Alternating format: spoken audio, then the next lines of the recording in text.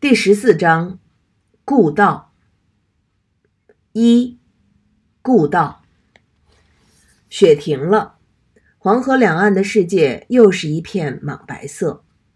去年大雪天，人都冒雪炼钢铁，忙累的每一个人都恨不得长出四条腿和八只胳膊来。今年的这个雪天里，九十九区的人都猫在屋里，钻在被窝中。谁也不动，不说话，怕费了力气，添加了恶。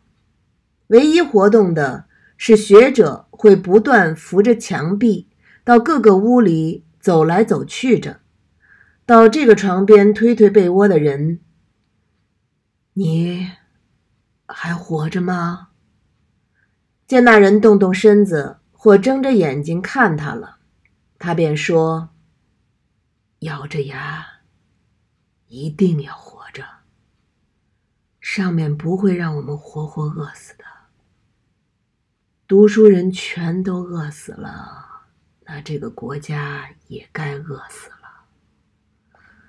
不管床上的人听没听到他的话，愿不愿去听他的话，他边说边走，就又到下个床铺了，扒开蒙住头的脏被子。看床上的那人闭着眼，他把手指放到人家鼻前试一会儿，又去推那睡着的人的肩。醒一醒，你还活着吗？一定要活着。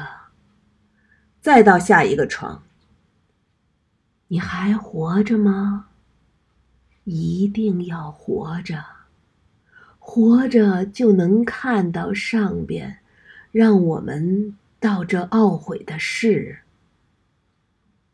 学者如是，这九十九区的上面样，召唤同仁要活着，千万要活着。不知他是不是这儿学问最大，职务也最高，可他肯定不是这儿年龄最长的。没有人推举他是要活着的组织者。去做和孩子一样大家上面的人，可他就这样自己一个床铺一个床铺，一个屋里一个屋里去走说。都知道他曾经给北京最上面的领袖起草过哲学讲演稿，翻译修改过最最重要的书，于是除了听孩子，也听他的了。都望着他的脸，很疑惑地问。上边不会不管我们吧？他摇头，绝不会。不出半月，上面一定会来人看我们。又到女的屋里去，问一句：“都还活着吗？”看见女的都在床上翻身看着他，他从口袋取出几个纸包，野草籽儿。跟面掺到一块煮煮吃。给每个女的一包野草籽儿，最后到音乐面前，把纸包放在她的枕边上，摸了她的脸，捏了她的手，趴在她的耳朵上，起床去吃吧，给你的是面和小麦粒儿。然后转身扶着墙，大声的：“都活着。”上面不会不管我们的，雪化有路了，上面一定会有人给我们送粮食。说到底，国家还需要读书人，就都信了他的话，把每人每天一两的黑面里掺野草、掺树叶，也掺一些盐碱田地的淤泥土，和成面，烙成泥土野草饼。饿了吃几口，用开水生水顺下去。泥面黑饼吃多了，人都拉不下。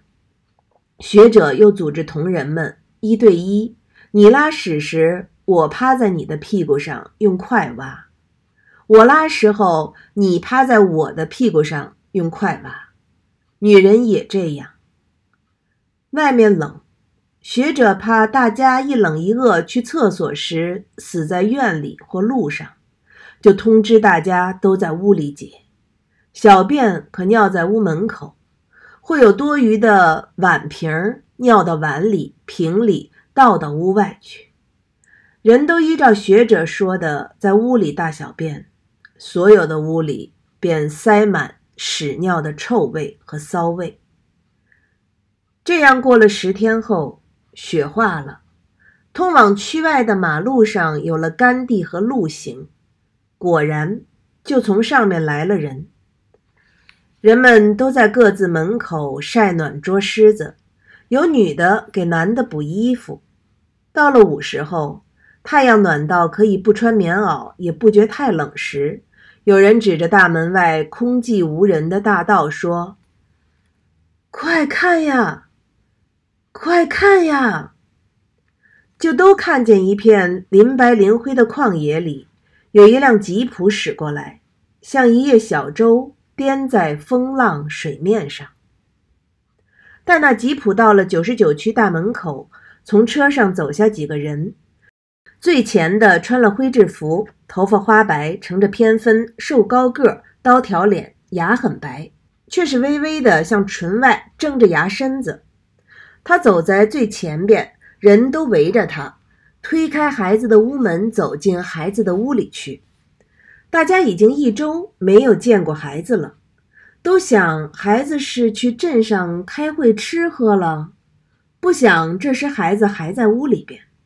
他们在那屋里待了半个时辰后，又从那屋里走出来，一齐人朝着晒暖的人们慢慢走过来。孩子跟在人后，就像一只羔羊跟在几只聚在一起的头羊后。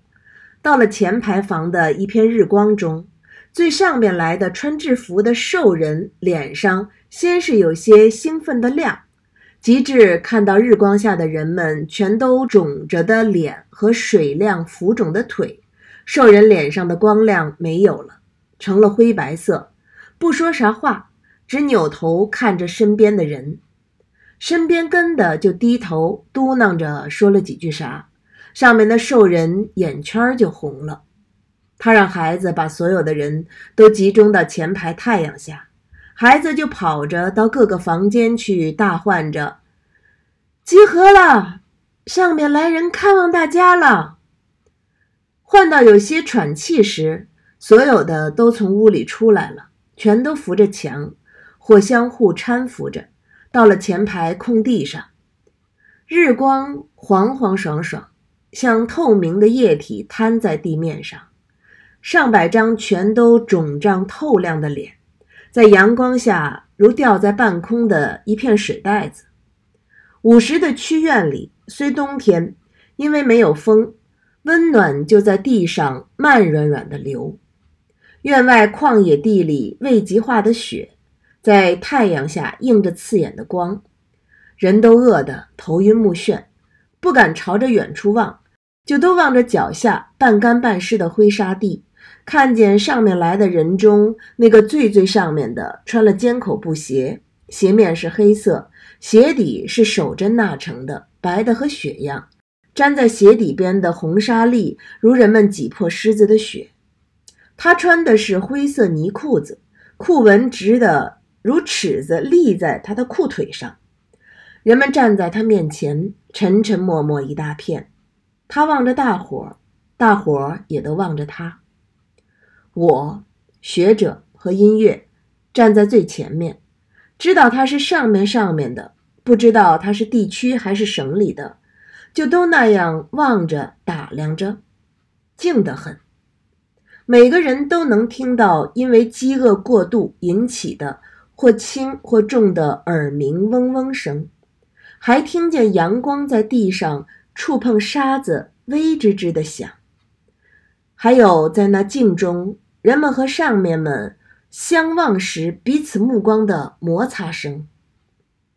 就在这奇静细微的声响中，大家等着上面的开口说话。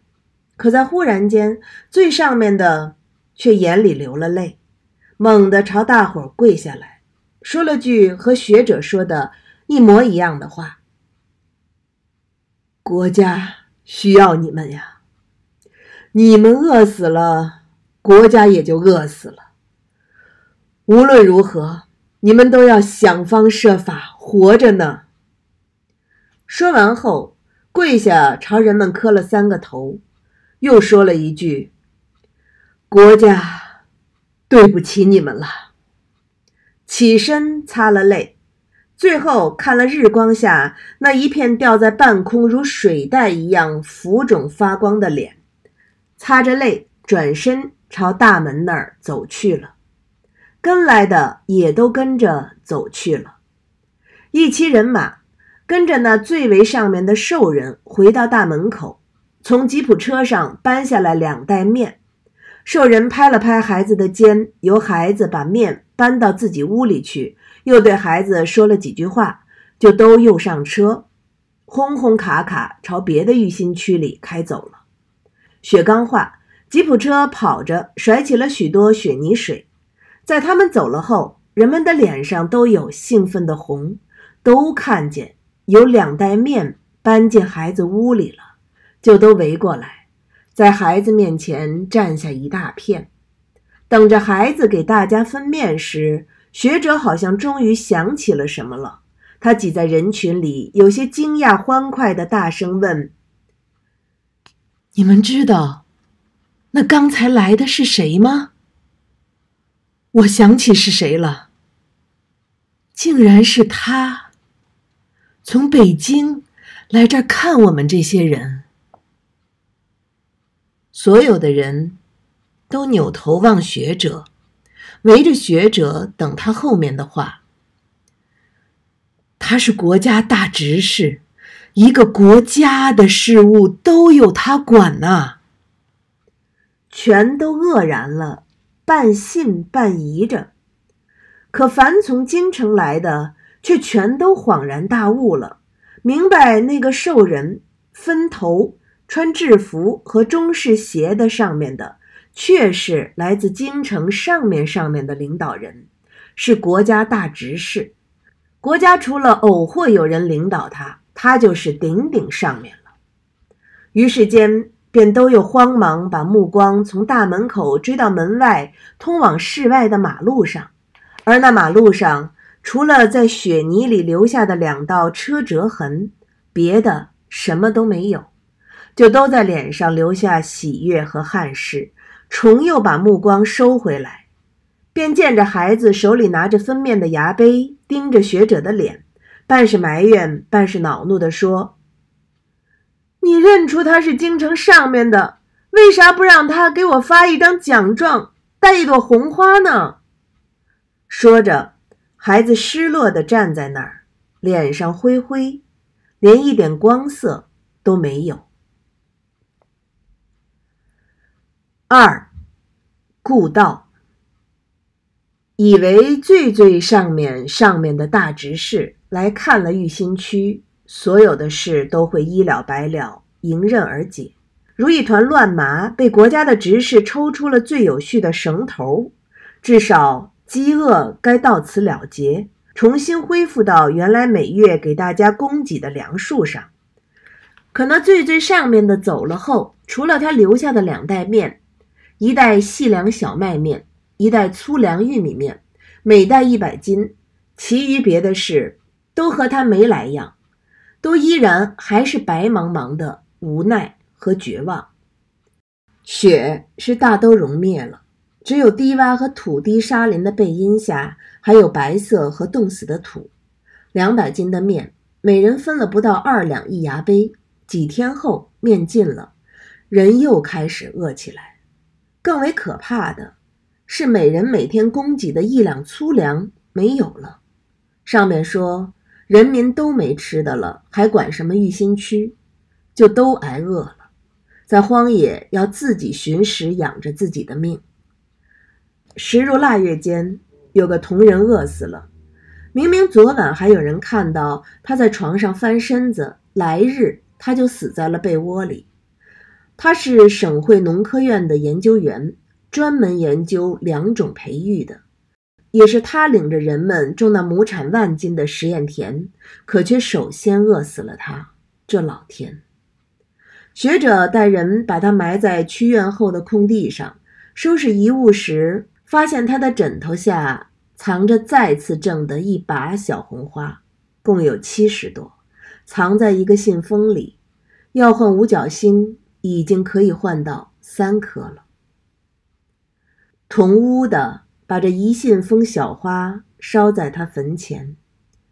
有人说烧掉可惜了，学者瞪了那人一眼睛，也就烧掉了，让小红花伴他到了另外一个世界里。九十九区也终于有人饿死了，活人自然也都更加心慌了。和他同屋的就都搬到别的屋里睡。学者又一个一个屋子扶着墙去说：“别睡了，不能活人活饿死，都到野地去找吃的吧。”就都慢晃慢晃到区院周围的田野里扒草根，找那秋天留下没有枯腐的玉米窠。去荒草地里，如剥豆一样寻那草棵上的野果和草籽儿。上午太阳升上来，地上暖和了，人都走出去。有人走不动，就如狗一样在地上爬着走。在那旷野里，人们蹲着、爬着找那草籽野果实，像放荒在旷野的一群羊。到了日落时，人在走着、爬着回到区院里。如羊在日落时分依时归圈般。可就在这天黄昏里，人们又都挪着、爬着从荒野回来时，有人看见埋在区院后边农科院的研究员，他的坟被扒开了，那席被里的尸肉被人挖走了一块又一块，大腿上。肚子上留下的洞，如黑土泥地，被迁除，用过了力。人已经开始偷吃人肉了。落日带着冬寒，在旷野微暖一会儿后，洪亮被阴云遮盖住，风。从北边灰明吱吱地吹过来，不知是谁先看到了那被挖开的坟。待学者、宗教从后边赶将过来时，大家已经在那坟坑围了一大片，像看一桩奇异惊恐的事，脸上都挂着惊愕和雪白，不敢相信。他们中间有了人吃人的事。音乐、医生几个人，他们看着那被挖开的坟坑和切割过的尸，蹲在地上哇哇的吐。学者是拄着一根树枝拐杖从后边赶来的，他深陷的眼窝里盛着黑，到那扒开的坟前看一眼，把拐杖树枝朝地上猛一丢。脸上有了喷血的暗红和铁青。我操他奶奶！敢吃人肉，你还算他妈的读书人？骂着回过身，把目光朝后边的人们扫过去，像要从那些人中找到是谁扒吃了研究员的尸。然。就在他扫这一眼后，人们都在他的目光里惊着时，学者却收回目光，不看了，开始大步的朝着屈院走回去。脚下的风快如他从来没有饥饿过。可没有几步后，他又不得不扶着屈院的青砖围墙。喘着粗气，不得不停下，一把一把擦着满脸亮白虚飘的汗。宗教领着大伙儿，也都快快慢慢跟在学者身后边。原来趴在地上挪动的人，也都不再爬着了，似乎都知道将要发生一件什么事，那脚下生着力气了。跟在学者和宗教后边，追着去看那将要发生的事。歇下一气后，学者开始走着朝南拐，走进了区院的大门里。再歇一会儿，又径直朝着最后一排房子走过去。一切都如学者料定的样。他到后排房里，推开最中间的房屋门，人一下就轰隆呆在门口了。在那中间的屋子里，有两个同仁。这天没有和大家一道去荒野地里寻找野菜和树根，他们留在了宿舍里。他们一个是省里的文化处长，另一个是国家教育部门的副厅长。本来说他们该是管着人的上面人，可他们管着管着也自己到了玉心区，成为罪人了。因为吃了人肉，他们不再饥饿了。就有力气并肩用一根绳子把自己上吊在了屋里的房梁上。他们衣着洁整，梳理利索，吊在房梁上，盯着进门的学者和跟来的人。而在他们身边的窗口下，用石头架了一个破边的锈铁盆，盆里还有半盆煮过肉的水。盆下是柴还未灭的灰火烬。学者走进去，用脚踢了那煮肉的锈脸盆，看见了窗口桌上放着一个纸包，过去打开来，见那纸包里包着几十朵他俩种的小红花和两枚五角星，而且在包红花五星的一张白纸上，用铅笔写着一封他们留下的信。对不起，是我俩吃了这农科园，吃饱了肚子，我们有些力气上路，先走一步了。人死如灯灭，再也不用玉心造就了。你们谁想多活几天，就把我俩吃掉吧。唯一恳求的。就是你们吃了我们后，把我们的骨头随便埋在哪儿，将来通知我们的家人，把我们的骨头带回去。谢谢同仁们，把这些红花、五星留给你们吧。看着那管过人的上面留下的信。学者脸上的青紫没有了，他有些平静的立在那儿。宗教问他写了啥，他把那信递给宗教看。宗教看了，又把信递给别的人。那信从屋里传到了屋子外，到末了，不知是谁看了信后说：“把他们卸下吧。”就把这两个死前吃饱了肚子的同人卸下了。该让孩子来看一眼。欲要去埋时，宗教看着学者说：“不然孩子还以为他们丢了，是他们自己逃走了。”犹豫着，学者就把这两具死尸放到他们自己的床铺上，到孩子屋里去告诉孩子说。日色已将浸进去，最后的一抹红光像浸在地上的雪。学者踏着这红雪走着时，像恶鹅飞在雪面，飘忽忽的摇。他听到了自己肚子里叽叽咕咕的饥饿声，似乎有水在肚里流动，要把他的肠胃都给冲带走。不光饿。因为饿，还让他的肠子拽着疼。他把手扶在肚子上，用力朝下按，这样挤着就把身上的力气都压到了腿上和脚上，就有力气朝前走去了。有一只野雀落在孩子门口的地上觅食儿，学者看见野雀，很想把那野雀吞进肚子里。他咽了一口唾液后，立下脚，捡起一块石头瞄着野雀掷过去。结果，那核桃似的石头离野雀还有很远，就已经落下来。他连掷一块石头的力气都没有了。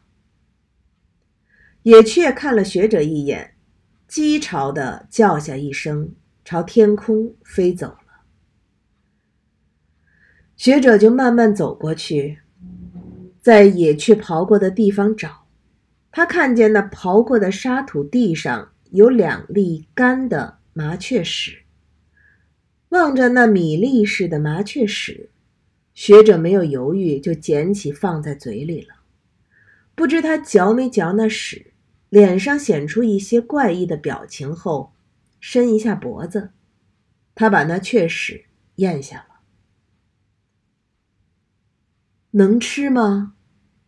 宗教和音乐医生从后边跟来问：“能。”学者说：“麻雀在冬天是吃草籽儿过冬的，草籽儿又不脏。”他们就到孩子门前了，先爬在窗口听了听，没听出动静来，又到门前去敲门，直到从屋里有个细微的声音传出来，学者才一把将孩子的屋门推开来，和推开那两个上吊的铜人屋门样。学者、宗教、音乐一行人，都叮当一下在门口呆住了。不是看见屋里有了死人那惊冷站立的呆，是火红铜亮发光的呆。孩子没有像人们那样饿得只还有一气儿两气儿，他眼窝陷下去，可脸上还有光，满屋都是光。黄昏前的光亮。卸进孩子屋子里，大家看见他躺在床铺上，而他的床边、床头和床里的墙壁上别满、挂满了他那被烧掉、上面又如数补发给他的奖状和红花。四方光亮的奖状一行行排着，贴满他床里的墙，而那些大大小小的花，绸的、绢的。纸的、大红的、深红的、艳浅粉淡的，都系在一颗细绳上。绳子从床头开始悬着，绕在床旁走了一圈儿，那红花就开满了床头、床旁和床腿。孩子的整个床铺都被这红色鲜艳夹缠着，加上他床上铺的织染的红床单。暗黑深紫的红被子，孩子就完全被那铜红包着了，使那床铺如同燃着的一盆火。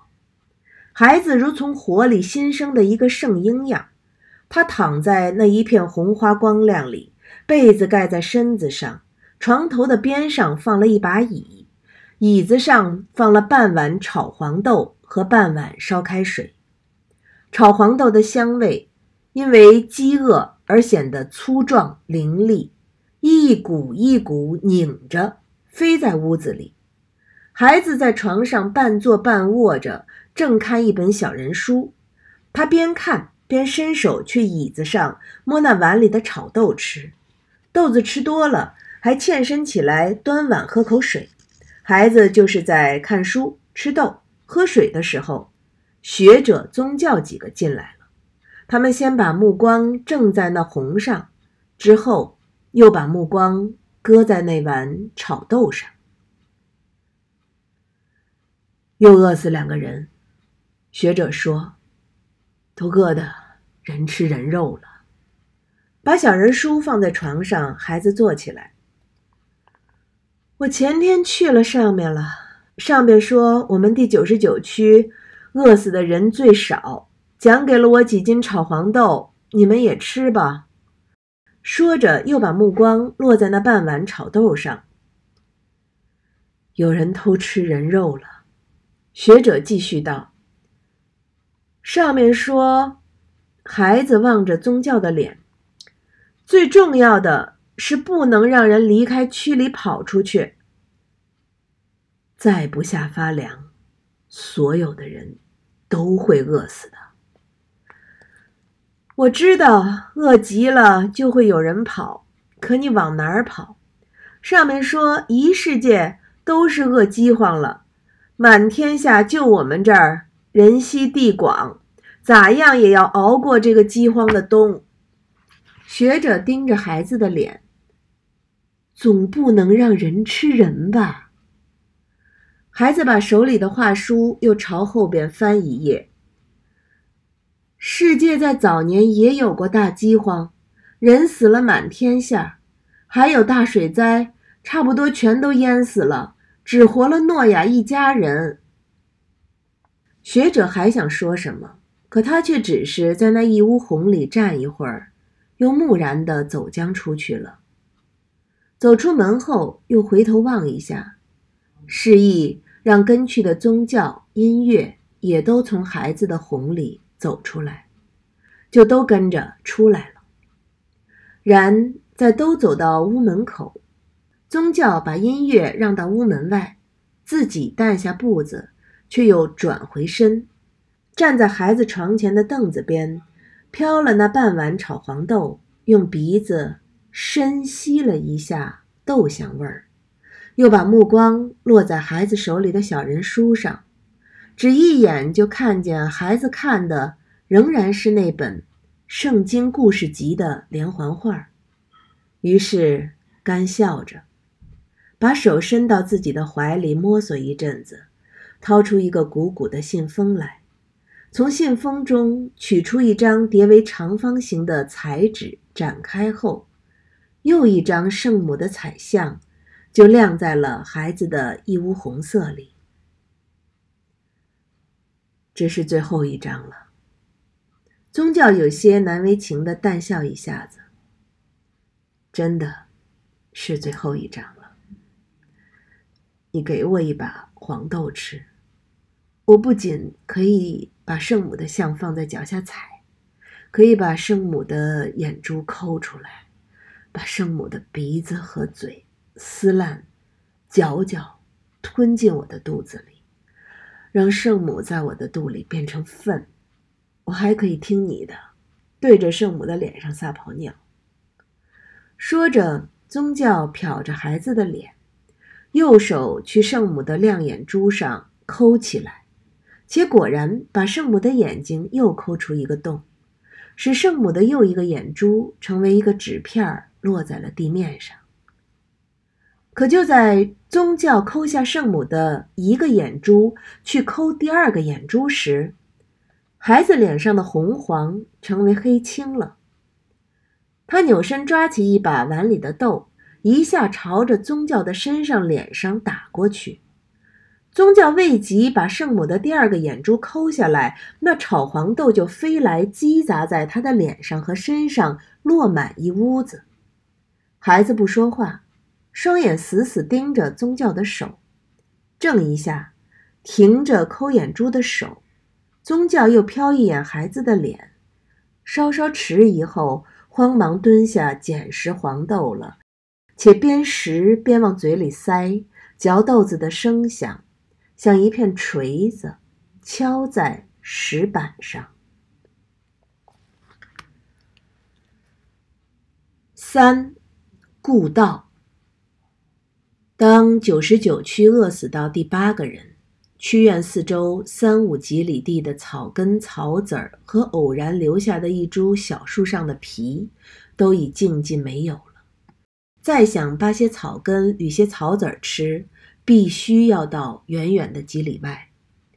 有人提着做饭用的瓷缸、瓷碗和火镰，日出时分朝外走，落日之前赶回来睡。他们谁也不跟谁说自己朝哪儿去，从床上起来就走了，散到遥野的旷荒里，找到一片野茅草或者狗尾巴草，把那茅草根儿扒出来嚼，把狗尾巴草上的碎籽儿揉在一张纸上或者衣襟上，待草籽儿够了一把或半把，弄来水，把火镰在一块白光石上敲。火星见到用棉花拧的火绳灰头烧，嘴一吹着火了，便就地生火煮一碗草籽汤。草籽汤是黄绿的粘稠状，喝下有一股腥草粘土味儿。为了遮掩那浓烈的草腥味儿，有人把地面呈白的盐碱硬壳揭下几片，煮进汤碗里，那草籽汤就有了色质的咸味儿了，草腥气就淡到可以忍受了。可那黄绿的汤喝多了，人就拉肚子，这一拉，人就不能走路了，便活活拉死、饿死在了这个冬天里。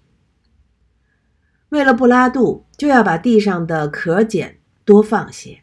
可那地碱吃多了，人的肚里、心里会烫得如着火，烧得闹腾，人就晚上睡不着，来日腿上飘忽。就有人在去找草根、草籽的路上，忽然倒下去，再也没有爬起来，也就随地选个挖坑把它埋掉了，在坟头放块石头或者插根棍儿。做个记号，记住某某死后埋在了哪儿，以便将来把他的死尸交给他家人。可在第二日，那插在坟头的木棍儿不见了，那堆着的石头也没了，大家就忘了把它埋在哪儿了。到了腊月间，当九十九区的人们饿死到第十八个，有一天，大伙儿在去捋草籽儿之前。都在院里讨论，究竟该在草籽汤里放多少地碱时，我发现音乐的脸色和大家不一样。所有人的脸上都是蜡黄或者人之将死的铁青色，可音乐的脸上还有淡淡红润的光。死，就像风来风去一样，说吹来也就吹来了。男人、女人们早已经没人洗衣、梳头和刷牙、洗脸了，可音乐的头发却是梳得齐齐整整，编成一个独辫儿，发梢上还扎了结成花的案头绳。那浅红的女士制服上衣也穿得干净利落，叠下的衣纹都还横竖在她的胸腰间。我开始对音乐存下疑心了。他站在一堆人的人群外，我站在人群外，他的正对面。透过每个人都如干柴般的瘦脖子，小心地瞟了音乐一阵后，我朝他的身边挪过去，竟还在他身上闻到了淡极如丝的一股雪花膏的香。我有些惊异地站在他身后，心里有怯怯的讶异和自喜。从饥荒到来后。我每记下一夜人们的言行，孩子就给我一把面。到后来，大伙儿都断绝供给，没有粮食了。我每上缴五页，孩子给我一把面。再后来，孩子没面了。我每次去缴我的记录时，孩子都给我一捧半把炒黄豆。九十九区里的人，人人浮肿无力，随时都会死。可我。或多或少，没有断过粮。我也饿，可我不会死。只要我每天都偷偷记下一些人们的言行来。然在这些天，因为人人都分散到远处捡拾草籽儿煮汤了，我已经很难再听到、看到他们的言行了。我已经有五天没给孩子缴过罪人录。没有得到孩子讲的炒豆了。我决定从这天开始就跟在音乐后，把他的一言一行记下来，弄清他吃了什么，脸上还有润红色，然后我就也有吃的了，说不定脸上会和他一样有活人气色了。九十九区已经饿死了十八个，他却还穿戴齐整，洗漱干净。身上还有散散淡淡一股香味儿。议论完了一碗草籽汤中该放多少地碱后，人都如往日一样朝着曲院外边走。主棍的主棍，扶墙的扶墙。走出曲院院落时，如天色放亮后，牧羊人开了圈的门，羊群都各自散开，朝着圈外的野地去，有的东，有的西。有的三二结伴，有的一出门就独自朝着某个方向孤影着。太阳已经高到将悬头直正的位置上，慢慢泛白的荒野里镀上了一层薄黄的光。走去的人影，一个个由大至小，最终都成为黑点，消失在了这荒漠里。我站在曲院大门外的一边，等着音乐走出来。他就果真走回屋里，取了驴草籽的袋儿，和医生一道出来了。在门口，不知他们说了啥。一声东，音乐朝着东南的方向走，不快不慢，像有目的的朝着那儿去取一样东西般。我贼在他身后几十米，一样手里拿了装草籽儿草根的一个袋，以备他发现我了，能有一副去寻草时的样。就那么跟着走，太阳把我的影儿投到左侧，像倒下来漂移的一段枯树干。走了一段后，饥饿让我气喘吁吁，如跑了十几里的路。而沿着小路一直向前走着的音乐，却是脚下越来越快了。到了下一个路口上，在我蹲下喘息时，他刚好转过身子打量起什么来，见身后和四野没有人。便把脚步放慢了，拐个弯儿，沿着正南的土道往九十八区正前走。他在土道上，我在野荒里随着他到七八里外九十八区的一片房子前。他不再向前了，而是从路边拾起一根一人高的树枝，插在路边上，然后朝九十八区向西一里外的一排炼炉走过去。事情是约好在先的。音乐把那树枝插在九十八区路边没多久，从那区里走出一个中年男子来，穿了泛白透黄的旧军服，过来把那路边的树枝拔下，放在田头上，也朝着那排旧的炼炉走去了。不一会儿的功夫间，音乐从炼炉出来看了看，对走来的男人笑一下：“烧了没？”男人从腰间取出一个比拳头大的小袋儿，朝空中举一下，两个人就都钻进那个炼炉了。我趴在炼炉不远处的一个土坑里，把头伸在一蓬野草间，模模糊糊看着这一切，有些明了事情的原委与曲直。日已平南，从黄河故道吹过来的风，在转暖的日光中。变得温和，如浮在天空中的丝。原来的冬寒在正午时候淡下去，旷野中铺了薄淡一层暖。从还硬冻的土坑爬出来，我开始朝那竖着的炼炉悄悄走过去。那炼炉是去年冬天九十八区炼钢烧铁留下的，现在成了音乐和穿旧军服那人的间房了。那排炼炉里不知炼出过多少渣子铁，一年后外炉壁的浮土都被风吹了，留下光秃秃的焦红黑褐裸在天底下。一排炉像一排竖在那儿硕大生锈的铁垛子，他们是钻进了那排炉的第二个炉。我到那炉前门口，在地上蹲一会儿，竖着耳朵，没有听到一点动静后。又朝那炉后走过去，从两个炼炉的缝间爬到炉顶上。原来炉顶吸炼胶水的洞眼如井口一样对着天。我开始爬在炉顶上，屏着呼吸朝那炉井爬过去，一步一步靠近着，及至到了那炉井口，朝炼炉下面望一眼，慌忙又把我的目光从炉井下面拽着收回来。一下呆坐在了炉顶上，远处有人在草地捋草籽儿，有人已经开始在那儿点火烧煮籽儿汤了。坐在炼炉顶，看那远处升起的烟，我就那么木木地坐了几秒钟，让自己狂烈跳动的心绪缓平下来一点儿，又悄悄爬在炉洞口，把目光再一次朝炼炉里边投下去。那炼炉里有半间房的空间大，在靠北占一半的地面上铺了很厚一层干野草，干草上有一床很脏很旧的粗布被，被子破了几个洞，露出的旧棉絮如埋在土里过了几年的浮草纸。音乐和那男人的衣服都脱下堆在被旁边，两个人身子钻在被窝里，头和肩裸在被外面。男人正在音乐身上猪一样气喘吁吁地忙着他的事，而音乐。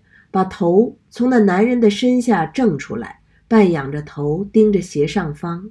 斜上的炉壁那儿有个小窑洞，那洞里放着一个黑窝窝，距音乐的眼睛两尺远，像一盏灯吸引着音乐的脸和眼。男人不让音乐现在吃那黑窝窝，让他专心他们身子的事儿。可音乐望着那窝窝，眼睛瞪得将要流出来。这样过了一阵后，男人在他身上不动了，停一会儿，欠身去他的军裤口袋，又摸出半个白面膜。他把那黑的窝窝放到一边去，将白膜放在窑洞里，像把一盏灯的光火拨大了。对音乐说了三个字：“纯细凉。”然后用手扳了一下音乐的肩，音乐便慌忙从被里站起来。趴在地上如狗一样，让男人从他的后边朝着里边进，而他却更是抬着头，拉着自己本来就瘦长的脖子，死死盯着那半个白面膜。男人是愈发的疯癫张狂了，从音乐的后边进进出出时，发出嘶哑快活的尖叫声，而音乐一丝不挂。裸趴在地面，一只手扶了炼炉烧红的壁，把他的身子弓着撑起来；另一只手伸出，想要去拿那半个馍，被那男人打一下。等一会儿，音乐便慌忙把手缩回去，重又直勾勾地盯着眼前那半个白面膜，如在黑死的屋里盯着一团光。这当。男人说着，更快的动作着，像疯了一样欢快和猛烈。我爬在炉顶的井口上，目光僵直了，眼角有了火辣辣的疼。我不知道他们在那炉里做了多久这偷奸的事，直到男人发出一声狂乱的嘶叫声，从他身子上瘫着坐在被子上，才自言自语一句话：“痛快死了，真得大谢这饥荒。”而音乐，则慌忙用双手抓起眼前的窝窝和那半个白面膜，一样一口的轮换吞起来。到音乐快要把馍吃完时，男人有些难为情地说：“我那儿也没多少粮食了，我们隔一天到这儿一次吧。”音乐怔一会儿，忽然上前一步，抱住男人亲一下。你是上面的人，可以去上面要。明天，你不用给我白面膜，你只要给我一个窝窝就行了。你们城里的读书人，就是比乡下人弄着好。男人最后笑着说了这一句，开始去提着自己的衣服穿。到这儿，一切也就安静了。我开始把头从井口慢慢缩回来，坐在炼炉顶上的太阳下，脑子里嗡嗡鸣鸣一阵了，不断想到音乐雪白的肉身子，想到他在男人身下盯着窝窝的眼和狼吞虎咽那半个白馍的样。天空里洁净旷阔，游云在高远的日光下发出丝丝微微向前移动的脚步声。前后左右又多了几处煮吃草子汤的烟，拧成麻绳的扭状竖在天空后，然后凝下来，似乎不动了，却又慢慢散开，消失在天空间。说到底，这是正腊月，空气中有很厚的冷气在漫散，只是加有薄薄一层午时阳光的温暖味。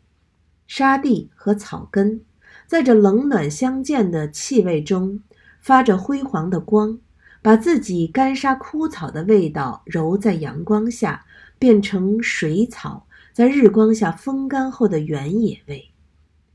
就在这七杂八乱的味道中，我辨别出了从炼炉飞出来、滞留在天空下那半白的魔香和炒黄豆那焦燎闪亮的豆味儿。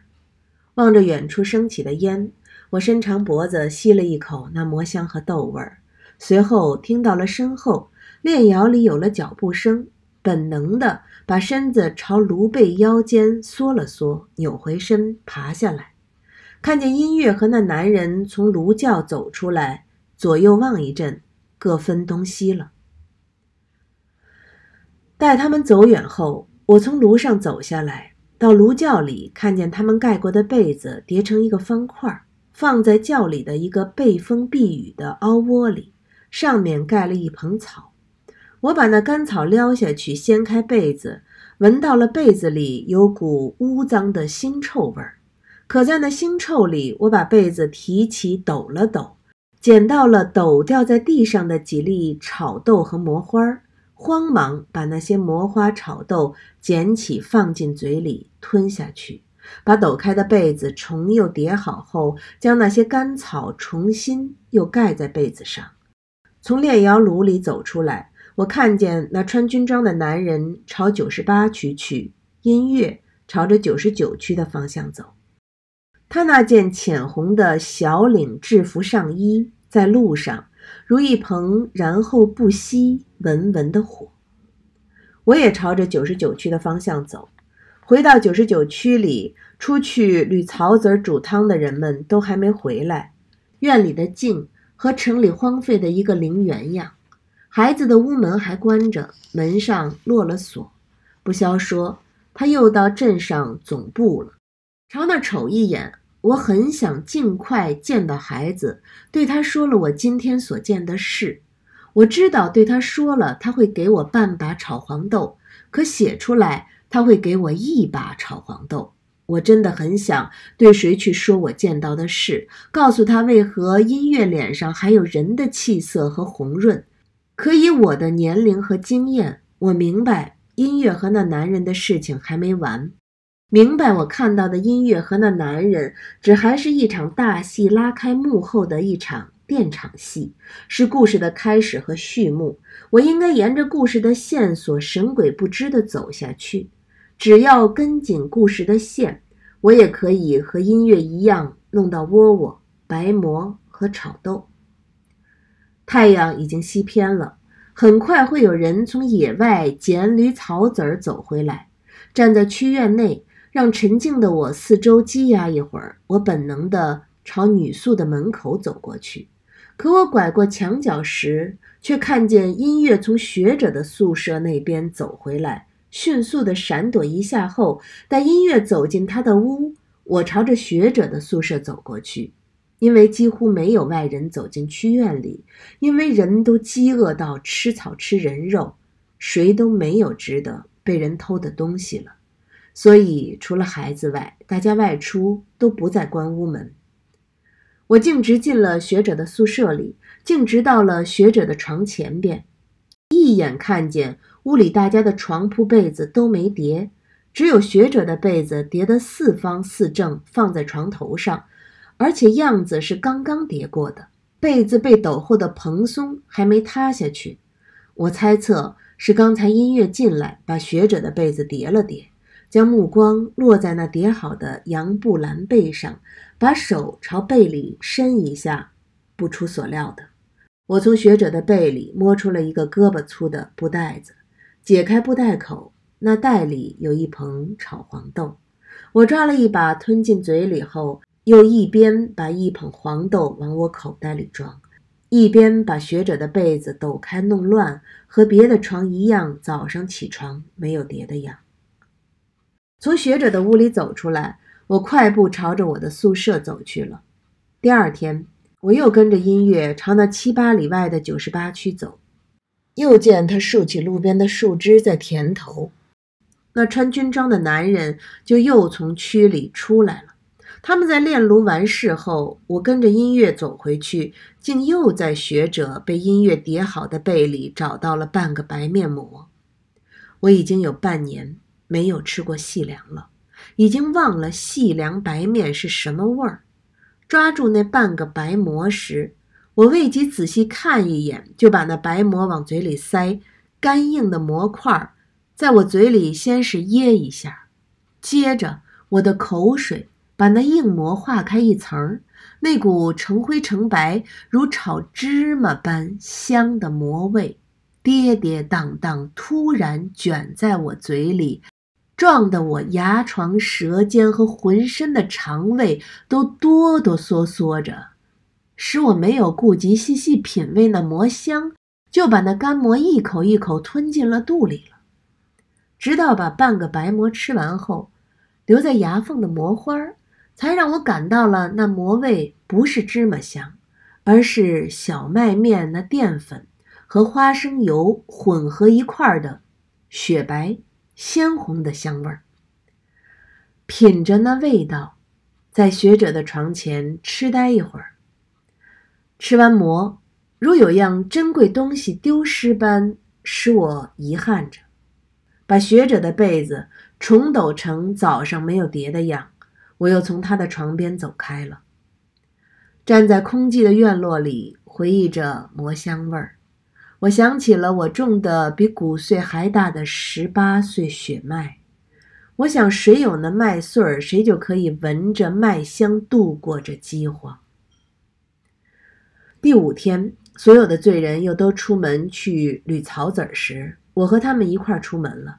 大家朝着西北走，我独自朝着东南走。到一块碱洼地里蹲下后，等着音乐从区院走出来，去把路边的树干竖在九十八区的路边田头上。可是直到太阳高至半空时，也没见音乐走出门。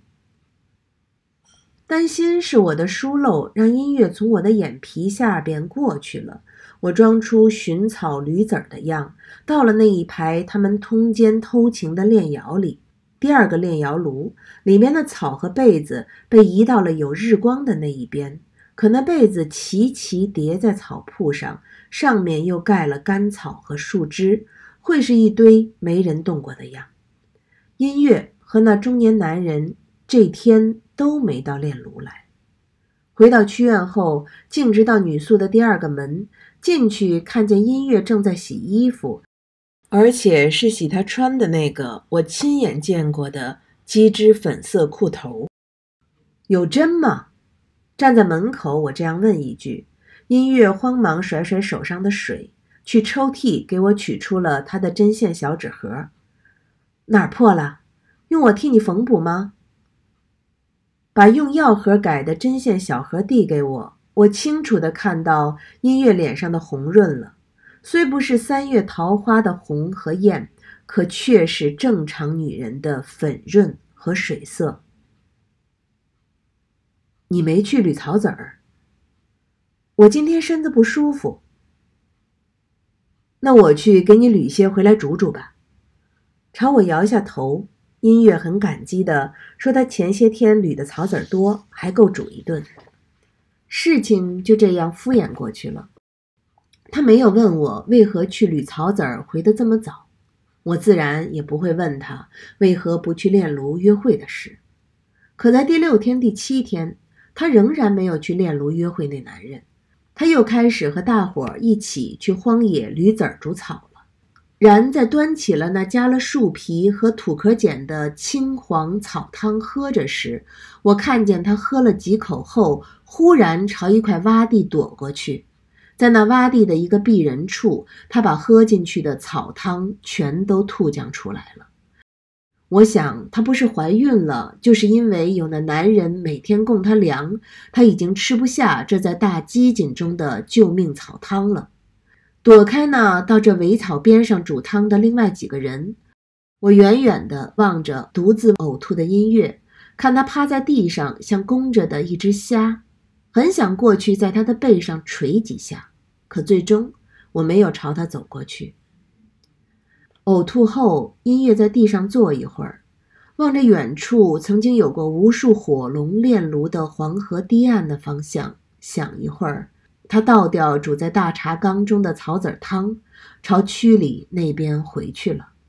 人都已经饿到将死未死的境地里，自己能活着是天大一桩事儿。至于别人怎样，大家都已不再关心了。都看见了音乐倒掉草汤回去了，但没有人关心他回去干什么。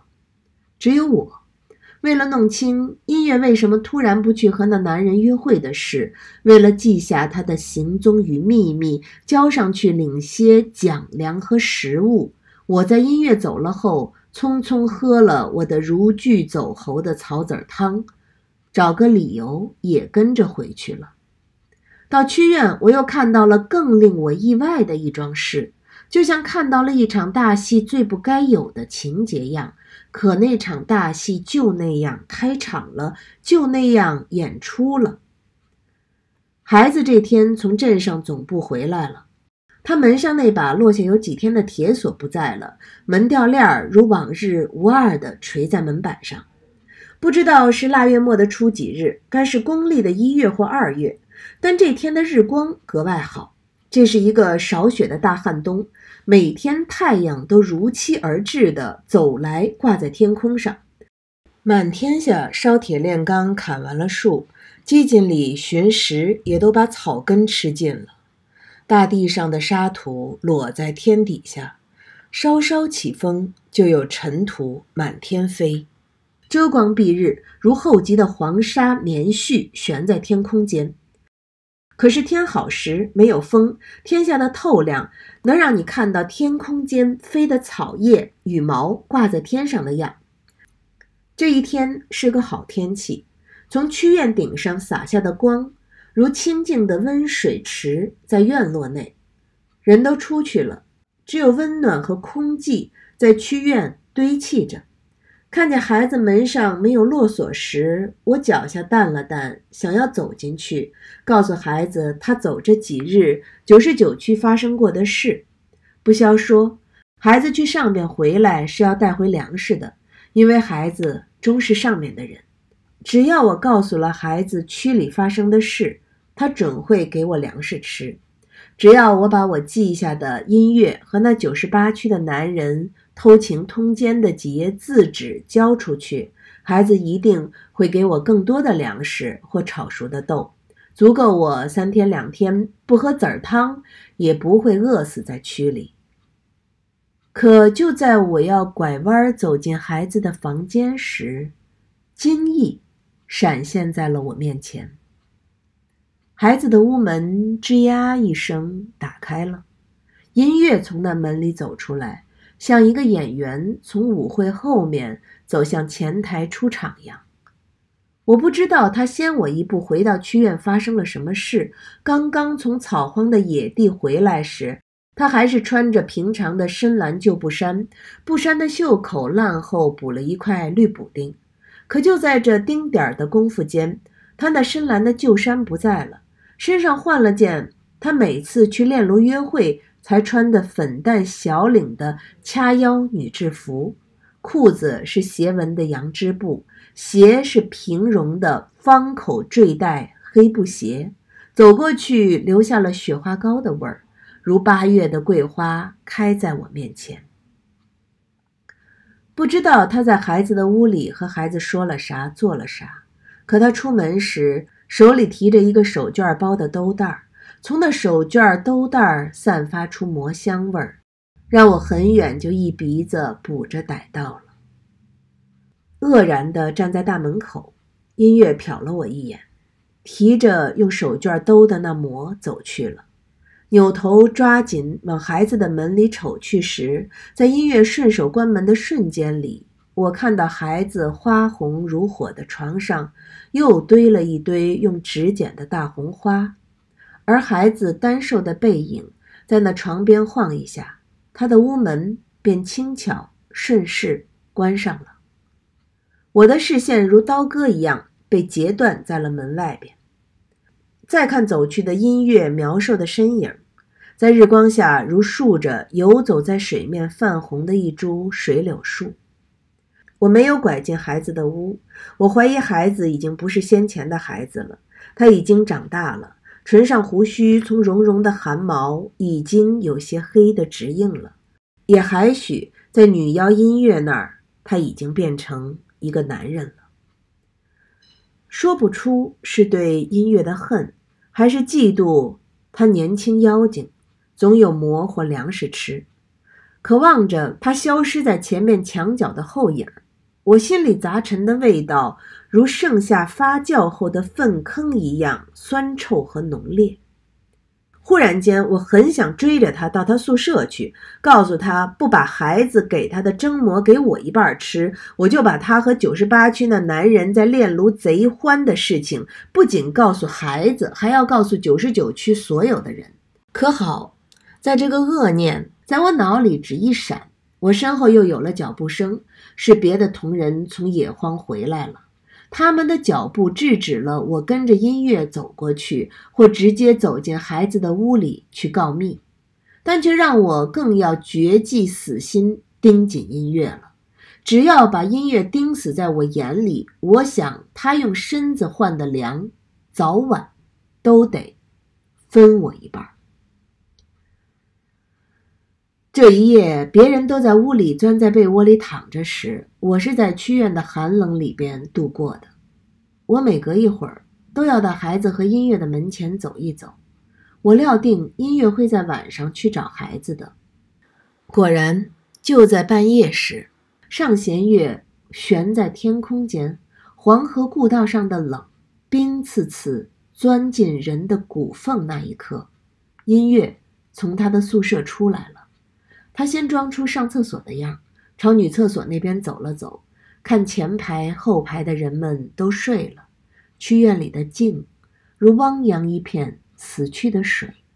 然后他就在女厕所门前站一会儿，咳一下，又折身朝孩子的房前走去了。我是闪在区院大门外边的，至死音乐都不会知道这一夜那个总在偷记罪人录的作家。始终躲在门外盯着他。六强风把我的双腿双脚吹麻了，寒冷冻得我双耳要从头的两侧掉下来。我不断地轻轻跺着脚，并把双手对搓后捂在耳朵上，借此证明我没有被活活冻死在这一夜。也就在月亮由灰白变为下半夜的冰清时，我听到了来自院内的脚步声。逮住了音乐在院里假东真西的身影了。到孩子的窗前边，他轻轻敲了孩子门口的窗，没有动静后，他又敲得重了些。不知他统共敲了多少下，也听不到孩子在屋里说了啥，但我清晰地听到了音乐在窗前说了句：“你把门打开。”又不知孩子在屋里答了啥，音乐接着很固执地连说两句。你把门打开，我有要紧的事情给你说。短暂的沉寂后，孩子屋里的灯亮了。随后，孩子一开门，音乐就从那门缝挤进了屋子里。我迅速从大门外的墙边朝孩子的门前溜过去，生怕有一瞬间音乐和孩子的事情没有被我掌握和看见。可到孩子门前，我又犹豫了。担心孩子会突然开门发现我，于是我又退回去等了一阵子，没有见到孩子开门观察门外的静动和风声，才又朝孩子屋前靠过去。为了能在突然之间闪到孩子屋的墙角后，我不再去孩子的门前听动静，而是爬在孩子屋的窗棂上。窗棂离那个可闪躲的墙角只有两步远，能进能退，让我的胆子放大了。我把我的下巴撑在窗台上，把耳朵贴在孩子糊了牛皮纸的窗户上。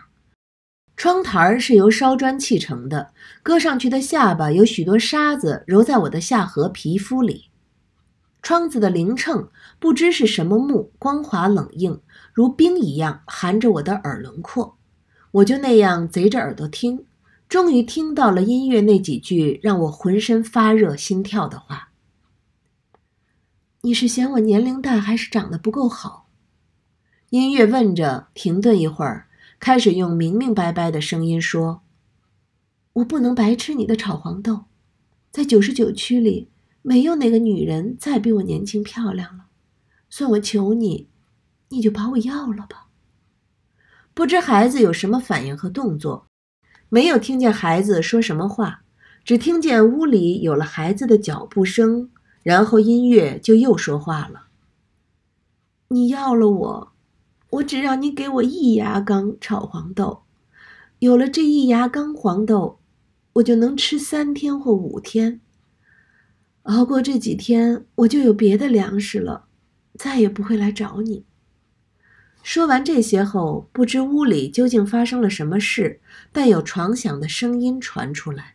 那床不是柳木，就是榆树木，干裂的声响，仿佛有斧子要把一段木柴劈开来。可随后，突然寂静了，屋里屋外，连一点声音都没有。在那很长一段时间的寂静里，突然间，不知什么声音响一下，从门缝、窗口传出了孩子沙沙哑哑的乞求声，像一个十几岁的男孩受了委屈，有求母亲那样说：“算我求你了，我就想这样子。”算我求你了，我做梦都想这样子。我无法把他俩的话用想象串在一块儿，可那话中诱人的热欲在我身上温开水一样浸泡流动着，我不再感到寒冷了，好像手上还出了一丝粘稠的汗。伸出我的舌尖儿，我像乡村爱偷爱听别人墙根儿的人。终于把那窗纸用舌尖儿舔了枣似的一个洞，将目光贴在那洞上。屋里景况的意外让我如走在路上碰到了一条横在路上的蛇。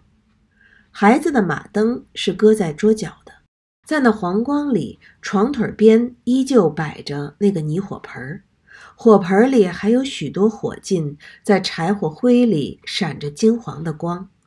而孩子的床铺边和床里墙壁上，原来稀疏的别花挂花处，现在全都被孩子从上面带回来的各样的大红纸花填满了。且床铺用草席棚着的顶棚上，竟也又挂了一朵一朵的大红花，红天红地。孩子的床像荡在洪水洪浪里的一条船，可在这红帆船似的床铺上。躺着坐的不是孩子他本人，而是赤身裸体的年轻音乐家。他浑身上下一丝不挂，浑圆的肩头和乳房全都悬在红的半空里，流水似的黑头发多半在背后，少半顺着耳边流在脸前的左肩上。因为屋里有那一盆火，因为灯光和满屋挂的花。似乎音乐没有那么冷。他坐在孩子的床中央，用孩子的被子盖了他的下半身，只让自己的上身乳白在红的半空里。因为那炽烈烈的红，他的身子和脸也都挂着红色了，像染了红粉艳水样。